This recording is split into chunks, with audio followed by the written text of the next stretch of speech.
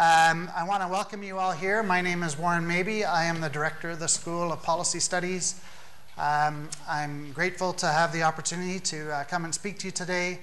Uh, we're meeting today here on the traditional territories of the Haudenosaunee and the Anishinaabe peoples, and we always like to keep that in mind. Uh, I'm going to talk to you today about carbon pricing and where things are going and how carbon pricing fits into a wide array of policies that I think are really important as we make a transition towards a cleaner economy. Uh, this is a pretty important issue right now. it's an issue that we're hearing a lot about in the news. It's a wedge issue. Uh, it has been pushed off the front pages today because Justin Trudeau made some very unfortunate decisions uh, with his career earlier on, but I guarantee it will come back in the next few days. So uh, this is, I think, one of the three big things that the government is, is talking about and that the parties are talking about. And so I thought it'd be useful for us to have a discussion about this today. Uh, so the way it will work, uh, we had the Slido slide up before. So as we're working our way through this talk, you may feel free to post questions into Slido, and I will take them from there, but I will also be taking questions from the floor uh, I'm going to try to get through my slides in about half an hour or so, although I tend to go long, and then uh, we will be able to do some back and forth, some Q&A. Okay? So, carbon pricing, where do the parties stand? And I thought I'd do a really quick run through just so that we would all know what the parties are talking about. And then I'm going to get into how carbon pricing fits into broader climate strategy. So, where do the parties stand? So, the Liberal Party, the party in power right now, has introduced uh, a carbon price across the country. Some people call it a carbon tax. The party chooses not to use that word, tax. Uh, they use the word price in all of their literature and all of their messaging. Uh, and right now it sits at $20 a ton, but it will go up to $50 a ton, I guess, if they are reelected. and they're allowed to, to continue that policy and move it forward. Uh, it was originally intended to be a backstop. So they, they call it a backstop in a lot of their literature, a lot of their uh, writing, but for most of the country, it has become the primary carbon pricing tool. And we'll get into that a little bit more as we go through the rest of the talk. So I'll talk a bit about the history and which jurisdictions had carbon pricing in some shape or form and how it's evolved. A lot of the money that they're raising has come back to taxpayers. So many taxpayers have received rebates. Um, it depends a little bit on your income class and things like that, but uh, a lot of the money that they're collecting is coming back, which begs the question, you know, is it an effective tool? Is it really doing what they want it to do? Uh, but certainly it is a high visibility tool. This is a tool that people are aware of right across the world because we are one of the few places in the world that does have a national level carbon price. Outside of Europe, there's not many places that have actually uh, taken this on at a national level. Uh, the Liberals have flip flopped a little bit on whether or not they're going to raise the prices past 2022. Um, the messaging was very strong out of the gate that they were only thinking up to 2022 and uh, there was some clever wording that I'm sure every single cabinet minister and every candidate was given about how to respond to the inevitable questions from the media. And then Catherine McKenna sort of slipped up and she said, well, it might go up. And then she was forced to back up and say, well, we have no plans. So there's no plans for it to go up. But if we're honest, they will go up.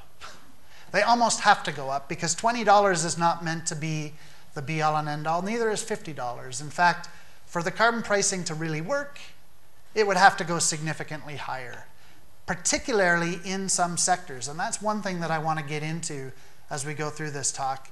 Uh, it really matters what sector you're talking about as to what the right carbon price is. There's not one number that fits all. Um, that carbon price, uh, the national carbon price, has weathered a number of court challenges, uh, and even Doug Ford has said that he will back off if the Liberals are reelected, but I will eat my hat if he actually does that. Uh, so, what do I think? I think it's a good start. Um, it's a much more powerful tool when one remembers that the Liberals are actually doing a lot. There are a lot of policies that they put in place, and we're going to talk a bit about those as we go through this. So, it's a good part of um, a, a quiver of ammunition, if you like. Let's compare that to the conservatives. So the conservatives don't like carbon pricing. They've been very clear on this, even though the carbon price that we have right now and the way that it works is exactly the way that Stephen Harper had said that he would roll it out if he had to do it. Um, what the conservatives have said that they will do is that they will focus on green technology uh, and that they'll pay for the green technology by imposing clean standards, although it's not clear exactly what those standards are, uh, and by punishing polluters that don't meet their standard, which actually is a carbon price, but don't tell them, because that's not what they want to send out. Um, they would put a carbon price into place, they just don't want to call it a carbon price because they've decided that this is a wedge issue that they can win on. That this is an issue that uh, Canadians are so concerned about that if they keep pushing it, that they can win the election. Uh, and to be honest, this approach could work. It could work if the standards were tough and if the penalties were high, which we don't have no clarity on. We don't know what the standards will be, and we don't know how tough the penalties would be. So without the clarity, we can't say that it's a good strategy, a good policy. The New Democrats like carbon pricing, think it's good. In fact, they would continue with it, and they continue with the rebate program. Uh, they have talked about cracking down on heavy emitters and forcing them to pay more. It's not clear how. Uh, they probably don't know, but they would like to think that they could do it. And it's perfectly acceptable. You know, it sounds just about right. Uh, they will keep on going. They have not said that they would raise the price, unlike the Green Party, which has said, yes, we would raise carbon prices if we go forward. They're the only party that have said it. So you have to give them points for honesty, that they would go ahead and they would push that forward. Um, the Green Party is also the clearest in their messaging that carbon prices alone cannot solve the problems that we're facing. And that's one of the underlying themes and messages that I want you to take home. That we tend to become so obsessed with carbon price that we forget that it is only one piece of a very big puzzle. And that on its own, it is not going to solve the climate problems that we're dealing with. Um, Elizabeth May wants uh, the, the country to do better than what we have promised to do under the Paris Accord. Um, and she is the only leader that has come out and kind of said that. Um, and she would need the carbon pricing strategy to be very aggressive in order to pay for all of the elements of her platform. because her platform, which has not been priced out yet, uh, would be very expensive. There are a lot of elements to it, and so actually the carbon revenue would become really important in in paying for a lot of what the Greens would like to do. Um, the People's Party. I wasn't even going to put this one in, uh, but I thought I would throw it in for fun. Uh, they hate carbon pricing. Um, they are the only party to really downplay carbon or climate change in this particular election. They're the only ones that have said, you know, let's not worry about this silly thing. Um, Maxime Bernier has come out and said, you know, CO2 is just a trace gas that we all breathe out. Uh, it is nothing to worry about. Um, and uh, if that was the only source of CO2, I would say that he was right. Uh, by far the least detailed and least useful climate plan offered by a national party. I've not done the Bloc, and I've not done some of the other fringe parties that are out there. Uh, the Bloc actually has a fairly tight climate strategy in hand, but they are focused primarily on Quebec. So uh, that's, that's where that sits. So that's the landscape right now that we're dealing with. We have essentially parties sitting on two sides of this wedge issue. A couple of parties saying, no way, carbon pricing is bad. We're not going to have anything to do with it. We're going to do other things, maybe. Um, we have parties that are saying carbon pricing is good and saying to some extent that they would modify or change things up if they were given the opportunity. So let's talk about what all of that means in the context of our emissions, which right now sit at about 716. I don't have uh, 2018 numbers yet, but 716 megatons was reported uh, in 2017, broken down in this sort of a way. And For those of you that have seen me talk on this issue before, some of these slides are going to look very similar because I update them every year, but a lot of the trends stay the same. So, about a quarter of our emissions come from oil and gas production, which is why the oil and gas sector has become such a hot potato in all of the discussion about you know, what we do with our economy and what we do to respond to climate change. About a quarter of our emissions come from transport. 10% or 12 or 11 come from electricity and buildings and our heavy emitting industries, so 30% altogether. About 10% from agriculture, and that is a really sticky one. It's hard to move the needle too much on agriculture because everybody likes to eat. A little bit on construction, a little bit on waste management, and a tiny bit on coal production. Uh, not the use of coal, but actually the mining, the removal of coal from the ground. That's the challenge that we have to deal with, that we need to figure out how to manage. This is not a static picture because those uh, sectors are changing in different directions. Some of them are going up faster than others. So other transport, which includes aviation and some marine transport, is going up faster than anything. But it's a 1% slice that's going up very fast. So even though it's going up very fast, it's still not that big. Uh, oil and gas emissions are going up, although I think the 17% is probably an overestimate because the industry itself is not doing particularly well. And there's lots of reasons for that. I have another talk on pipelines which uh, explains some of that. Um, a lot of it has to do with competition with other cheaper forms of oil. Uh, Canada, unfortunately, has a lot of oil, but it's expensive to get. Heavy duty transport is the one that I worry about the most, and uh, buildings. Those are the two that I'm particularly concerned about. Uh, we have a lot of uh, emissions that are associated with heavy duty transport, and they go up every year.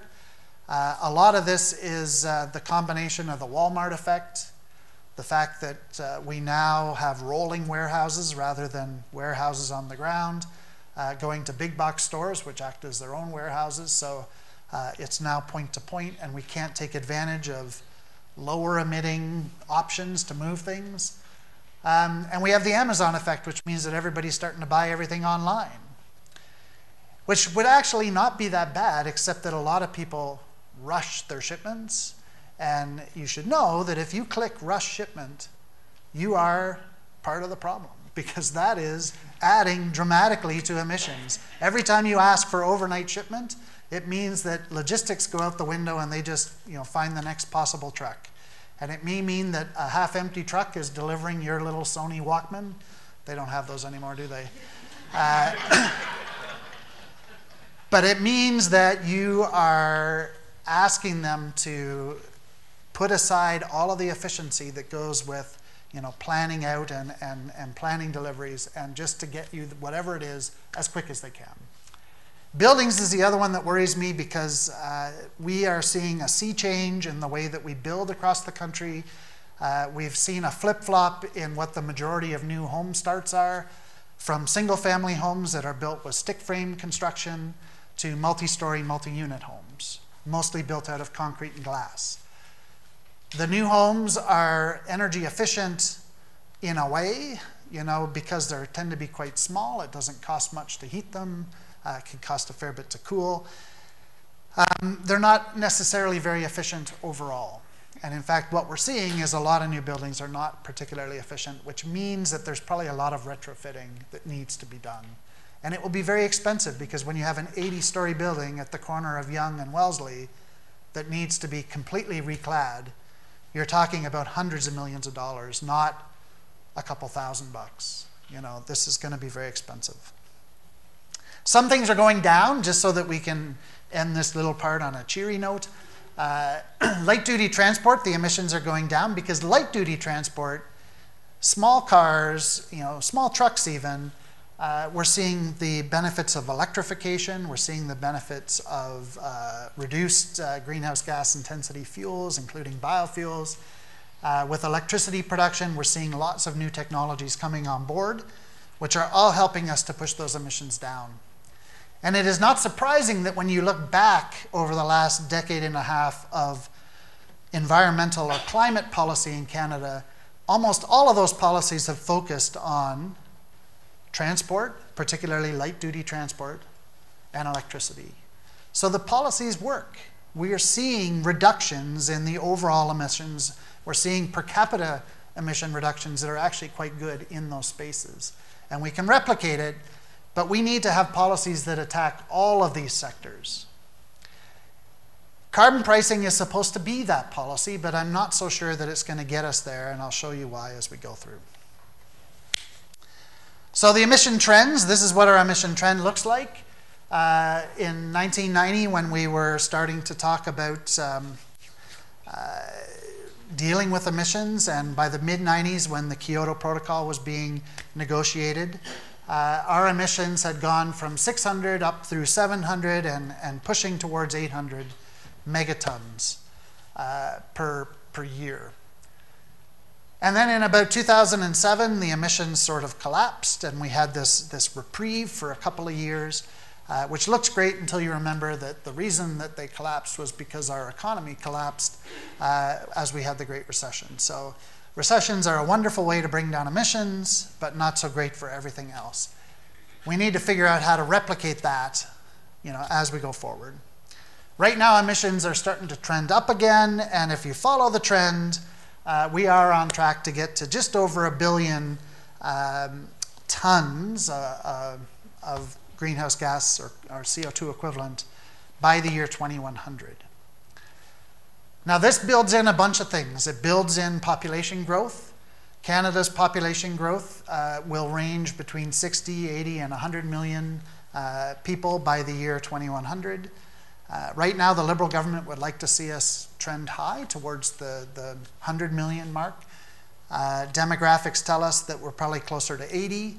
Um, and there is a um, small c conservative push out there to keep our population growth down and to keep it closer to 60. But no matter what you do, uh, we're going to have a lot more people to deal with than we do today. Today we're at about 38 million. So we're talking about doubling or tripling of our population uh, as we head towards the end of the century. And at the same time, we're supposed to be bringing emissions down. So this is a big, big challenge uh, for us to face. Now, some of you will have seen me go through this before. This is a wedge analysis. So starting um, in 2018 or so, where uh, the red blob starts to go down, uh, and moving forward, there's a bunch of policies that we can put in place that will help us get towards a zero emission or close to zero emission uh, society, a very green economy uh, going forward. And those wedges look like this. Uh, the first one is eliminating coal. The second one is eliminating or electrifying cars, not eliminating cars. Um, putting biofuels or some kind of renewable fuel into big trucks. Conservation, which is the big blue slice, and that one is particularly important, I'll come back to. Uh, green electricity um, and net zero buildings, moving towards very, very clean buildings.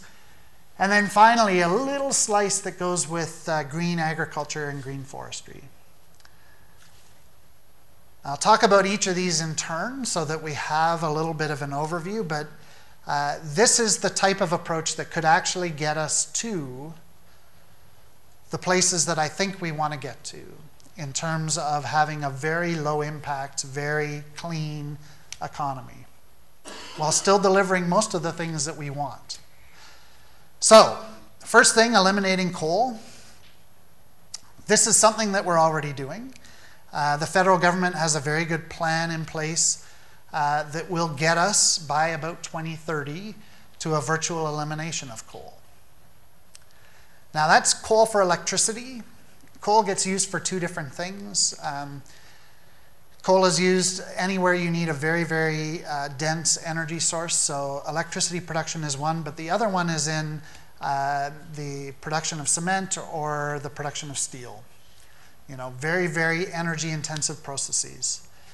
It's totally possible to do those things without coal, you know, to use other energy sources. Um, it can be very expensive, so there are cement plants that run on electricity. It's expensive to melt rocks with electricity. and that's what you end up having to do. Um, you can also uh, look at uh, reclaimed materials like old tires.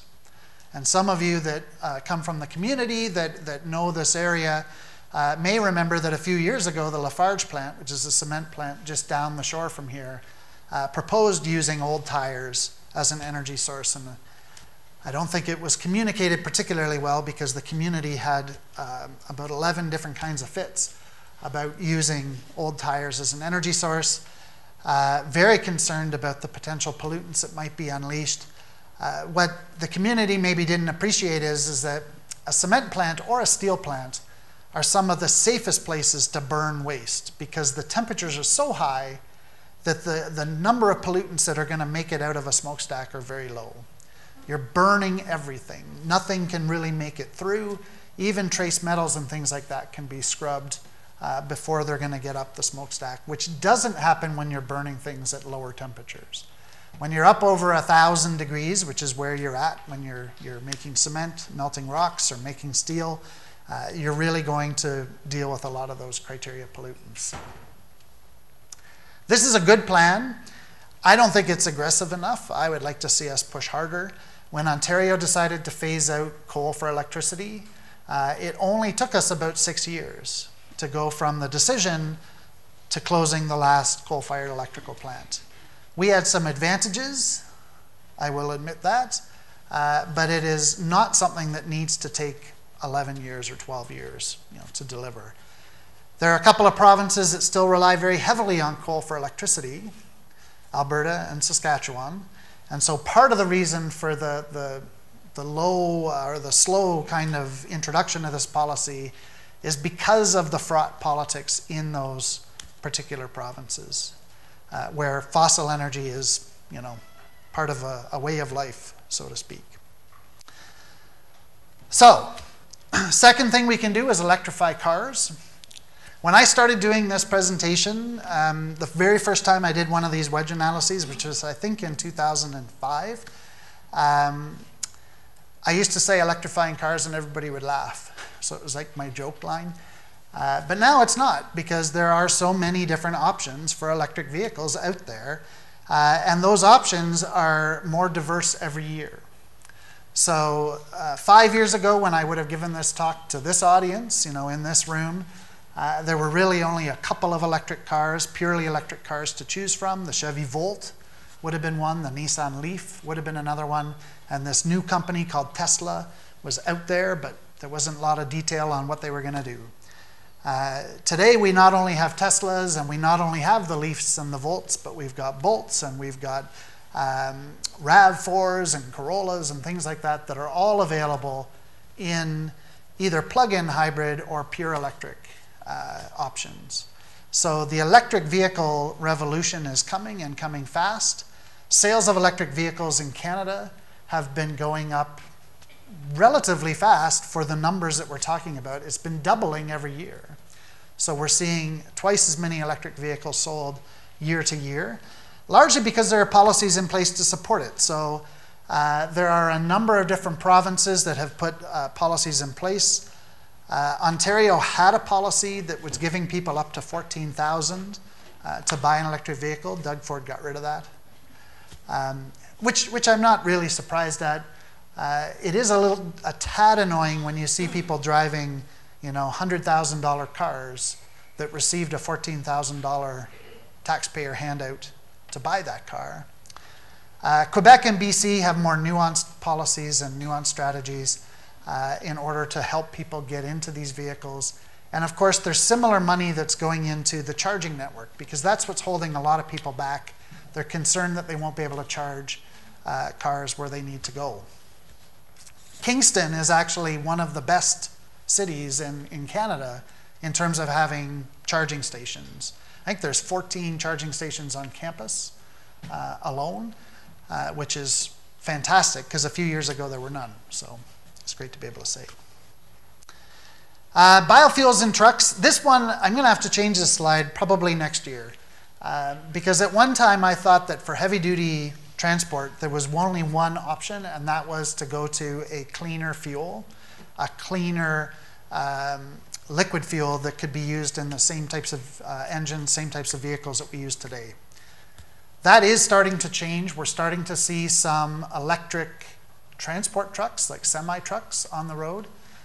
They didn't exist a couple years ago. Now there's some demonstrations. Walmart is running a demonstration. Uh, Tesla has a great big semi truck that they drive out at events, but I, I don't know how far it can actually drive on its own. That's the only embarrassing part. The Walmart truck does move around. So um, we've built a lot of biofuel capacity in Canada um, over the last two decades. The truth is, is that we haven't invested in the types of biofuels that we need to invest in if we want to support the heavy duty sector. We've been investing mostly in ethanol, mostly ethanol from corn. Um, I have a, a big background in biofuels, and for anybody that wants to talk biofuels, we can do another lecture that would just be about all of the challenges with, with corn and ethanol.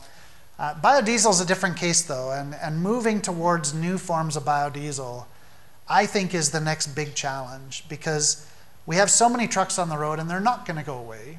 You know, despite our best efforts, uh, the Walmart effect and the Amazon effect are not going to go away. And we have to work with it, not against it, as we, as we go forward. Uh, the policy that I'm particularly excited about in this space is the Clean Fuel Standard. Um, I actually debate whether I should talk too much about this before the election because I actually think it's a secret weapon in a way. Uh, it has not been in the papers very much. There's not been a lot of attention given to it. The Conservatives discovered it a little while ago in the summer and there was a flurry of activity, but then it, it sort of went away. The Clean Fuel Standard, I think, is important because what it does is it demands that all of the fuels that we use have a reducing uh, greenhouse gas intensity over time. And it doesn't say how to do that. It just says that it has to happen. It says that, you know, if you're uh, Petro-Canada and you're selling gasoline, well, every year the greenhouse gas intensity of that gasoline has to go down. And how you get there is up to you. You know, it can be mixing in biofuels, it can be investing in cleaner production technologies, it can be magic as long as you do it. Uh, it's a beautiful standard in a way because it's mimicking what's happening in a lot of uh, other countries around the world, Europe particularly. Um, it is not prescriptive, so it gives industry the maximum amount of latitude in responding. Uh, but what it really does is it imposes a de facto carbon price on fuels, which is a difficult sector to change. And it says we're not going to wait for the carbon price to get to the $250 a ton that it would require to make people really change the fuel mix in vehicles. This is going to force people to do it faster. And it gets at another kind of a core argument that I have, which is that carbon prices should not be the same sector by sector. It's actually very cheap to green electricity. Uh, in Alberta, you can now source wind power, wind electricity, at four cents a kilowatt hour. Four cents a kilowatt hour is like nothing. It's super cheap. Uh, it's far cheaper than any other form of electricity that's out there. If you could store it, it would be by far the best deal in the world. Even without storage, it's not a bad deal. Um, compare that to uh, the um, 15 to 20 cents that it would take for natural gas, to the 12 to 15 cents that it takes for coal. It is much, much cheaper than most of the options that are out there. Clean Fuel Standard forces everybody to move in the same direction and puts prices on, um, or puts a de facto price on the carbon that's in those fuels that are out there. Um, so yeah, the Clean Fuel Standard. Conservation. This is the big one. And it starts off very, very slow in my wedge analysis. It only picks up speed as the technologies come into play that people need in order to be able to enact these kind of conservation uh, trends in their own lives. But eventually, what we need to do is we need to get people to about one fifth, maybe to one sixth of the energy that they currently use in their day to day lives. So if today you use, you know, 36 megawatts of power over the course of a week or a month, we need you to get down to six. And how can you do that? Well, right now, if I asked you to do it tomorrow, it means dramatic changes in the way that you live, dramatic changes in your lifestyle. In the future, when there are options available, it will be much easier to make that change. And the example that I give to everybody are light bulbs. It used to be standard to have anywhere from a 40, 60, or 100 watt light bulb in your house, incandescent light bulbs, right? And the 100 watts were good if you had to have a reading light because it gave you lots of light, it was very bright. Uh, now you can buy LED bulbs that are coming in at 5, 6, 7 watts as opposed to those 40, 60, 100 watts. We're getting that six fold reduction in energy consumption in one small place. A laptop computer that you buy today will probably last six times as long in terms of its battery life as the laptop computer that you could buy 10 or 15 years ago. So you're getting that six-fold improvement in certain things. We need that in everything, though. We need that in the way that you heat. We need that in the way you cool. We need it to happen everywhere. Carbon pricing is a great way to help people get there. So finally getting back to carbon pricing after half an hour. Um, and Canada's actually one of those places that has had a long history of playing with carbon prices relative to other countries. BC has had a carbon price in place uh, since 2008. Alberta's had a carbon price in place, although some of that has been taken away in recent weeks um, over the last few years. Both Ontario and Quebec have been working with carbon prices, Quebec a little bit longer than Ontario. Until uh, last summer, Canada was viewed as two completely distinct blocks because in the West, BC and Alberta were using carbon taxes, economy wide prices on carbon that just applied to everything. So if you filled up your car with gas, you paid a carbon tax. If you uh, bought natural gas to heat your home, you paid a carbon tax, so on and so forth. In the East, we didn't go that way. We went with cap and trade. Cap and trade is kind of peer to peer where businesses can work with each other. They're given allotments, you know, uh, credits that they're allowed to use within the market. If they need more credits, they can purchase them. If they have excess credits, they can sell them. There's a cap sector by sector on how much can be emitted. And so the industry can figure out how to best achieve carbon reductions. Cap and trade, um, the pricing that we were seeing in Ontario and Quebec was sitting at about $15 a ton, you know, average price, uh, before Ontario stepped out of the, the cap, and trade, cap and trade block. Uh, in the West, we were looking at carbon prices that were closer to $30 a ton through a tax program. Cap and trade works really well when you have a big, diverse, dynamic economy and you have lots of industrial sectors that can work with each other, which we have in the East, where we have manufacturing and, and IT and retail and so on and so forth. In the West, where the economy has been dominated by one or two sectors historically, cap and trade doesn't work that well because there's nobody to trade with. Everybody is facing the same problem, so a tax works better. So we were starting to see this evolution where different carbon pricing schemes would be put together in different places that would benefit uh, different, different populations.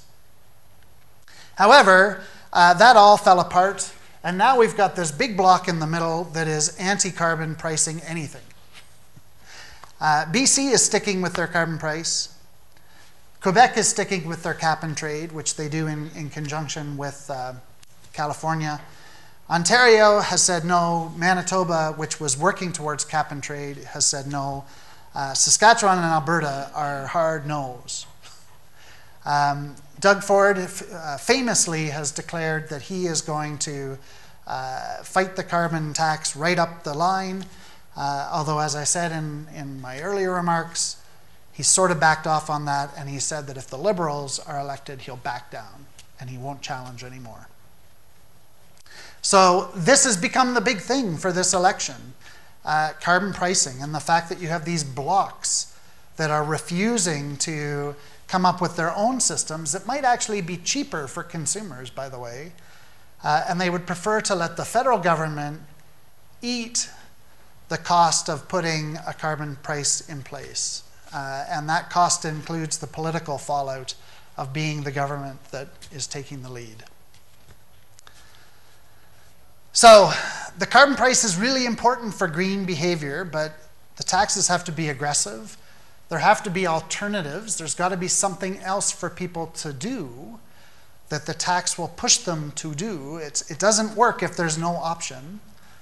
Um, and it's, it's got to be an aggressive kind of a, an approach. A couple more notes and then we'll do questions. Uh, green electricity, we're seeing lots of advancements on, on green electricity. Every province now has an idea of how they're going to green their electricity supply. Even Alberta and Saskatchewan, which have relied heavily on coal in the past, are privately talking a lot about green energy, largely because it's cheaper. You know, I said it before, you can get wind energy cheaper than anything else right now. So why wouldn't you invest in that? You know, uh, when Donald Trump was elected, he promised to bring back coal-fired power. And he can't, because nobody's going to pay for coal-fired power anymore. It's way too expensive. Put aside all of the environmental concerns and the health concerns, which are dramatic and, and horrendous, uh, it's just too expensive to do. Nobody wants to go that way, and the new technologies are better, they're cleaner, they're easier to deploy, they're cheaper. Uh, we don't have to talk about that. Uh, lots of new technologies. The big thing that's missing with green energy right now is storage, and that is the big research focus right now, so we need investment in storage. Uh, investing in storage would almost double the amount of green power that we could put into the grid uh, right now because we're wasting a lot of power uh, that's generated at the wrong time or in the wrong place that we can't get to a user in time. Net zero buildings, I'm not going to talk too much about this, but the truth is, is that we're moving very much to this type of uh, construction form, multi-story, multi-unit buildings. Kingston is a bit of an anomaly. You know, we still have suburbs being built uh, there aren't that many new suburbs being built around Toronto. Uh, what's being built are towers. This is Brock Commons at uh, UBC. So UBC is one of the leaders in trying to get uh, tall wood buildings put together. Uh, so this is a student residence because we always like to try out these technologies on students first. it's almost all wood, massive wood construction with wood panels. Uh, it does have some concrete around the elevator shaft, so you know there's a little bit in there, but it is a much greener building. It has something like one quarter of the embodied energy that a typical tall building would have. And that means uh, that it takes a lot less energy to actually put these buildings together, which is good for carbon. Not a lot of concrete, which is good for carbon. Lots of good reasons why this type of technology should be adopted. Uh, I would like to see Queens build one of these things. Maybe we could do it for our students. Uh, not as a joke, that, that's for real. so net zero homes, we need to be moving towards single family and multi-story options for net zero. We know how to build net zero homes for single families. There's lots of excellent examples of how to build that way. Net zero multi-story, multi-family homes, a different thing.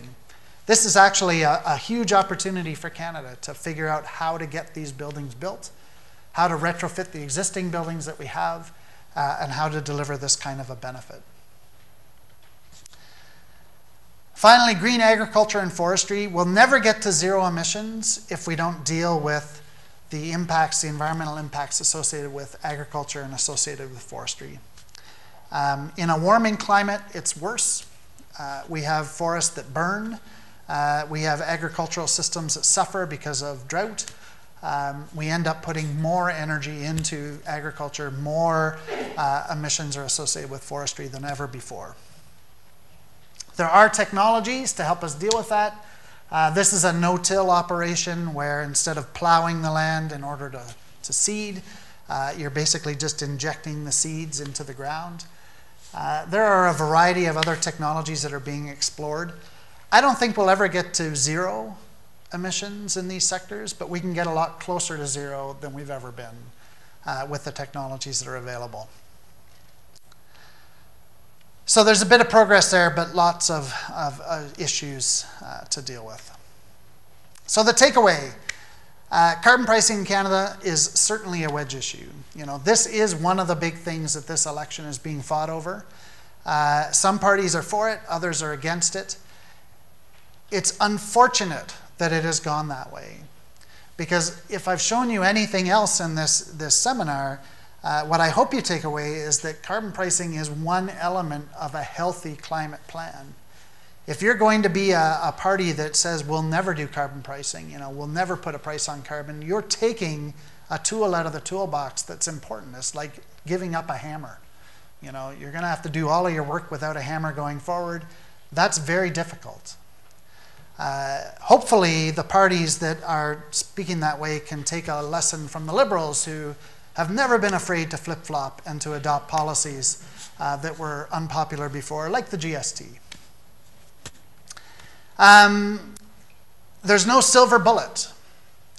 Carbon pricing gets all of the attention, all of the press. It's the pretty uh, sibling out of the, the, the, menagerie that's in front of you. Um, and yet, those other policies that we've been talking about are just as important. And so, you know, sometimes I wonder whether I should talk about the other policies because it may just open up uh, discussion and, and it may turn them into wedge issues too. But the truth is, is that some of those other policies are much more effective, particularly in the short term, in doing what we need them to do. And then finally, uh, you know, carbon prices are great because they'll impact consumption, but you can't impact consumption without having alternatives. It doesn't make any sense to impose strict carbon pricing on, let's say, a family in Ajax that is forced to commute in two directions to get to work because there's no direct employment in Ajax. Um, that has to use a car or two cars to get to those jobs without giving them an alternative before you start to impose the tax or using the tax to give them the alternative. Um, there aren't options for many of these people right now. And that is part of the reason that these, these taxes are unpopular because they're not being positioned or they're not being messaged as part of a bigger strategy. The way around that is to make it clear that if we're going to collect carbon prices, it's going to help us get to a cleaner future. None of the parties have figured that out. Not the Liberals, certainly not any of the other ones uh, that are, are coming forward. And that's unfortunate, and it's a big challenge for us going forward. So I've gone longer than I was going to go. I'm going to stop there. Um, we're going to switch it back over to Slido but I'm managing myself, so I will take questions.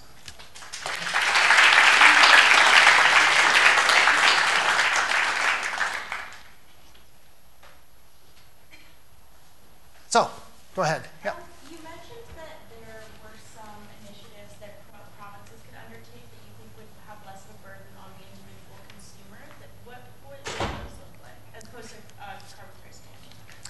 Well, the best things that uh, the provinces can be working on are pieces around construction and pieces around uh, transportation. Would that be in place of pricing? No, I think that you need all of them. So again, you know, it could be divided up that the federal government is the, the body that looks after the carbon pricing piece.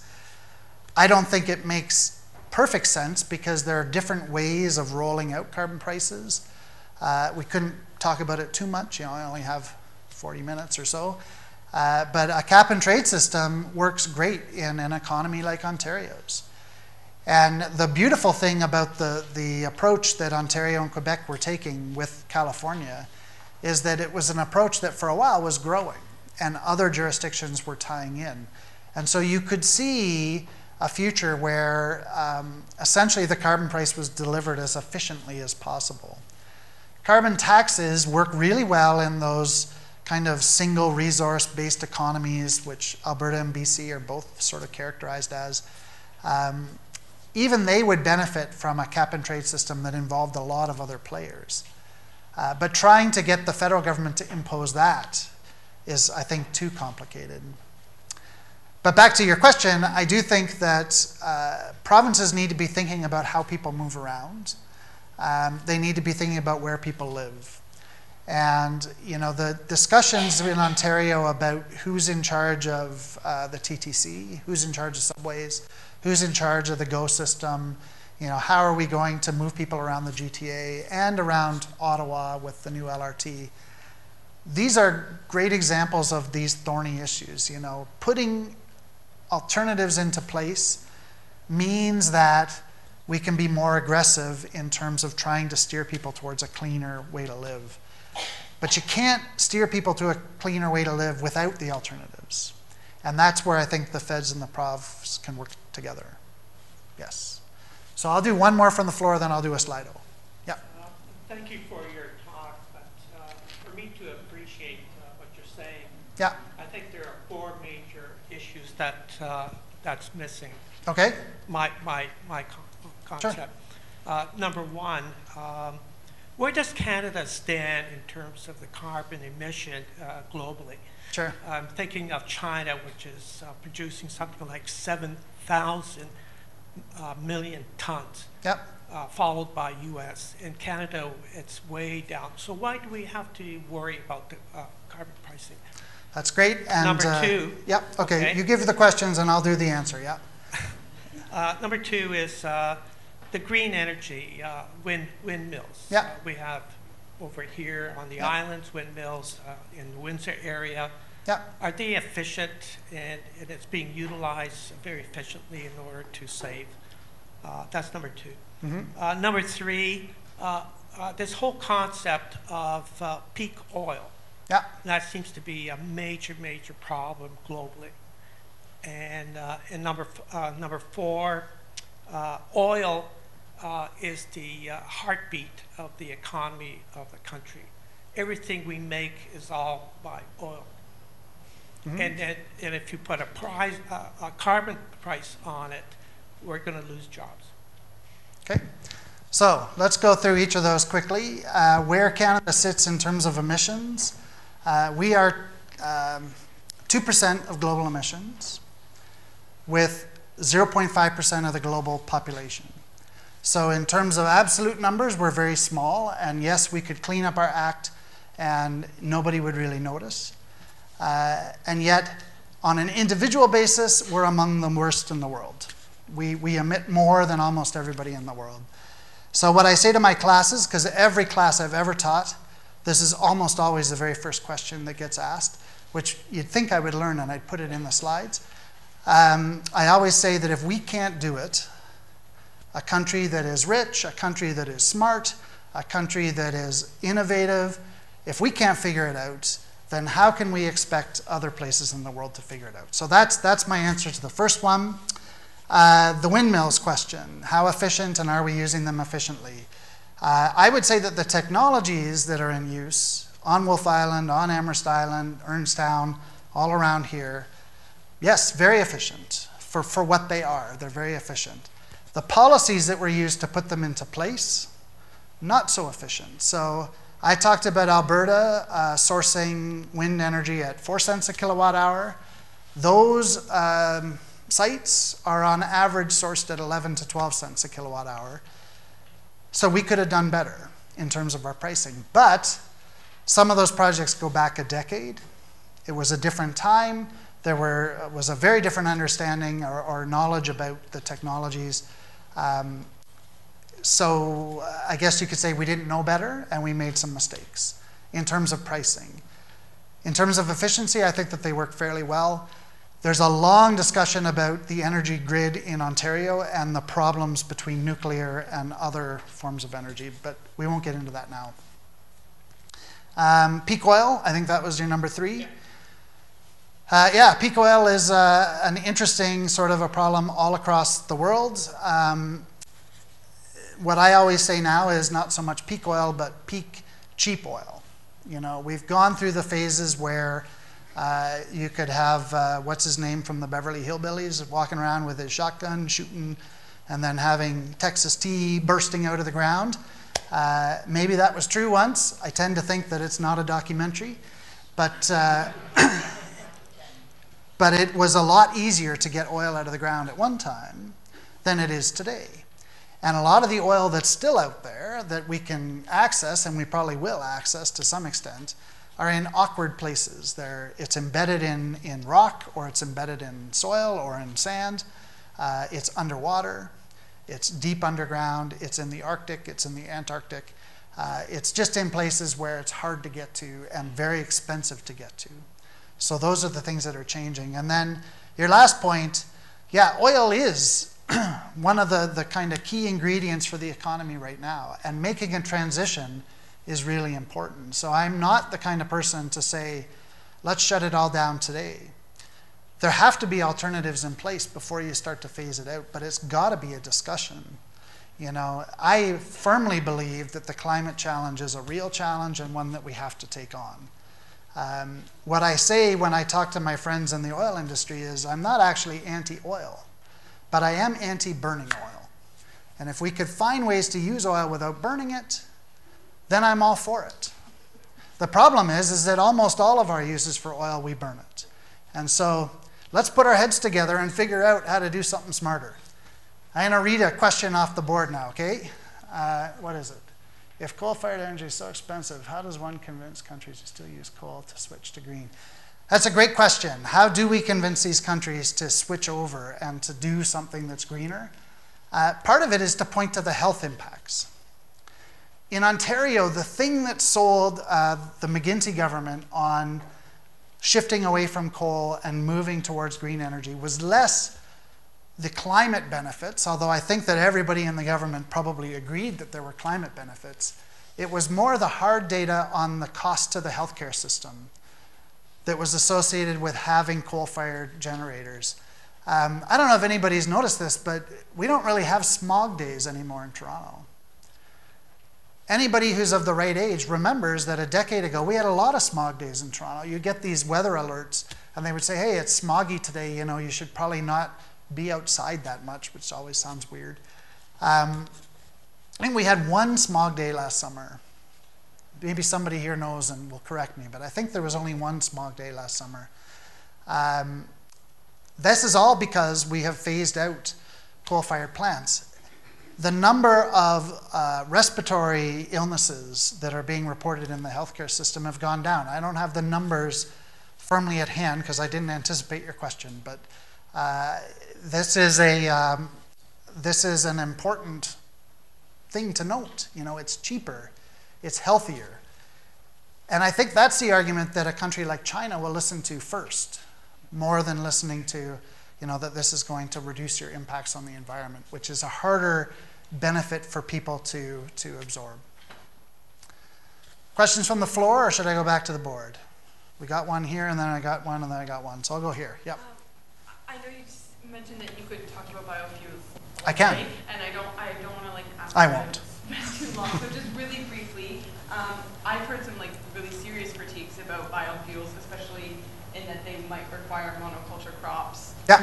to like make them efficient, um, and land that would then be used for growing fuels as opposed to food when we have like a global food shortage that will only become yeah. more serious. So um, has that prediction taken into account those things? Yeah. How do you address them? Brief. Yeah. So I, I, should do another talk about biofuels. Maybe I'll do it in the spring term or the winter term, you know, when, when we have some room in the schedule. Um, the truth is, is that biofuels is one of those double-edged swords that could either be really good or really bad, depending on how you do it. And some of the things that we've done have not been great. And some of the policies that have been put in place, less so in Canada, more so in the United States and a couple other places around the world, just haven't been great. Uh, this is a technology that can push people towards monocultures. It can push us towards um, forms of agriculture that are not particularly sustainable when you look at other measures, eutrophication or uh, BOD or COD in our rivers, things like that. Those are real concerns. And it's the danger of thinking about the world as just a climate problem. There's a whole bunch of other environmental problems that tie into it if it's done right. So if bioenergy, biofuels are done right, it ties into uh, the entire use or value chain that we associate with crops and with forestry. And there are lots of opportunities to grab energy within those systems that wouldn't impact food prices dramatically or wouldn't impact the availability of, of different types of biomass and, and would give us more flexibility to deal with, with these issues. So that's why, for me, bioenergy is actually a relatively small slice of the solution. Um, if you had got me in 2003 when I was kind of getting into this space, I had bioenergy doing everything because uh, I'm a forester by training. So I figured, oh, this is going to be great. Uh, I'm much more conservative on it now because I see a lot of those issues. But it is not a tool to drop away because actually we could use it to do some things that are really important in, in small, specific niches in our economy. So, Neil, I'm going to go behind you first and then to you, okay? Yeah, I know. One more minute. Um, I think it is tomorrow. Um, across like a lot of places around the world, they're doing a strike for climate action. Yeah. Um, at places, kind of, what role do you think that like these mass movements have with in regarding to policy and like are they maybe this is, isn't the right question for you but are they important or what role do they have in driving policy um, the quick answer is i think they're important uh, because what they do is they send a message to politicians in a little bit of a different way than a vote you know it's, it's an actual action that's being taken uh, that reminds people that this is important to voters. It may not be their number one issue, it may not be the issue that drives them at the polls, but it's an issue that they expect action on. Um, and we've seen over the last decade increasing um, activity in that sort of direction. So that's why virtually every party has some kind of a policy, some kind of a, a stance on climate change now. You go back two elections, and there were parties that really weren't talking about it at all. So it's important to keep the pressure on. Um, whether or not it actually leads to policy reforms, that's a different question. I'm not so sure. Neil. So I'm interested in the, this order of uh, the order of uh, implementation of carbon pricing versus other policies, and you said we need alternatives. Yeah. I look at automobiles. We've had alternatives to gas-powered engines for 20 years now in terms of hybrid cars. Yeah. And they haven't really taken over the market. We could hybridize the entire fleet. There's no reason. The technology is there, but it hasn't been adopted. Do we actually need the carbon pricing to drive people to make those choices? Because there are options there, but they're not making the switch. Yeah. So I think this is actually a great example of the way that I'd like to see things roll out. If we put in the carbon price 20 years ago and asked people to make the shift, there wasn't anything really for them to pick other than getting out of the car, which works for some people really well, but for other people, it, it simply can't. You know, they, they're too far from their jobs. They've, for whatever reason, economics, they, they can't get to where they need to get to. Um, now, yes, you can make those choices. And so the carbon price can start to step in and push people towards maybe those better decisions. Um, we need that in a number of different sectors, though. That's why I think that as you're bringing in carbon prices and as you're ramping them up, you've got to be bringing these other policies on board and continuing to push the boundaries with those policies in order to have the options. You don't think you need the pricing, though, to drive the development of those technologies and, and policies? That's what I'm, that's what I'm wondering about. I think they need to both happen at the same time. It's, I think you're sort of picturing chicken and egg, and I'm picturing evolution. Uh, the whole thing has to happen kind of in lockstep. Uh, it's not going to all happen because we put in a carbon price. So we're not going to get to net zero housing just because of a carbon price, because actually the break even carbon price to make your house net zero is in the, the high hundreds or thousands of dollars. And are we going to wait until carbon prices reach $1,000 a ton before we retrofit? We don't want to do that. What we want are the technologies today so that people can move in that direction much faster. So, yeah. Uh, does nuclear power still have a role to play? Uh, probably. Nuclear power is one of those really difficult ones because when you just look at it through the emission lens piece, it looks terrific. You know, very low emissions, In Canada, pretty safe.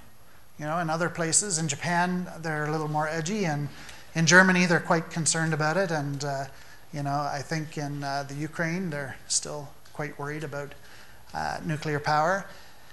Um, it's when you add on the other environmental lenses that it starts to look challenging because we still don't have a very good way of dealing with the waste, despite the fact that this is an issue that is now 40, 50, 60 years old. Um, it is not an easy fix. We know that. Um, we probably need some nuclear power to make it work. But do we want to build a lot of new nuclear reactors or do we want to use it judiciously to help us make the transition? That's the question. All right, I'm going to do one last question. It'll be Paul, and then we're going to break. I'm going to follow on the chicken and egg thing. Yeah. Um, and I gave you Sweden as the example, who brought in a carbon tax in 1991 when there were no electric cars or. or Yep. like that. Um, and they and they brought in the same price in 1991 that we're, our federal government is currently trying to get in place in provinces like Ontario. Yeah. Their carbon price now, I think, $250 a ton or something like that. So they started in 1991. Yeah. Why can't we use a country like that as an illustrator for the things that, and their G, G, uh, gross national product hasn't declined No. in 20 years. So I, I just, again, changing of behavior and education, I think, of, of the benefits of these things, I don't think it's gotten out there. And, and what do we do to, like, we, we try to get it around here, but how do we get it out to the, the general audience? Um, so it's a really good question. The, the Sweden example is a nice illustration of things that can be done. Um, Sweden had a few advantages that we don't have. You know, they had a much better rail system than, than we currently have, so they were able to push a lot of traffic into their rail system, and they had the the bioenergy train. I don't know if you remember that. That was kind of biogas driven.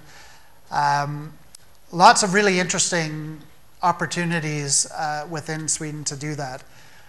Sweden also is a country that is used to paying higher taxes. I don't know if they like it. I wouldn't presume to say that they like it, but they're used to paying higher taxes. And that means that this introduction of this tax was not taken as starkly as it might be taken in Canada. So I think that's the primary big difference between the Swedish experience and ours is that uh, the, the Scandinavian countries in general just are used to a higher level of taxation and more government intervention. They're also a, a monolithic federal government, which means that they were able to institute something uh, from the center, from Stockholm, that was able to work really well, whereas we have to work within this federation, which is actually a huge challenge, you know, where you have 10 provinces and three territories with a lot of power uh, in the discussion that are, are pushing in different directions.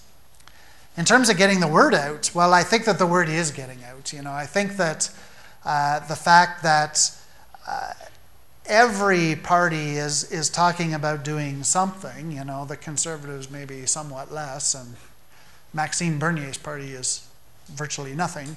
Uh, but, but other parties are certainly moving in the right direction. Uh, I think we're now hitting that kind of critical momentum point. This is going to be a really important election because it has the ability to throw that momentum off if the election goes the wrong way.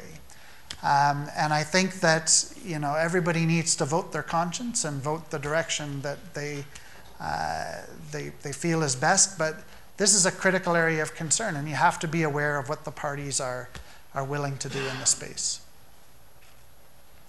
It's after one. I promise to let you go at one. So we're going to wind up here. There is no policy seminar next week, but the week following, there is a pre election panel on issues including climate change, and all that is posted. So thank you very much. Enjoy the rest of your day.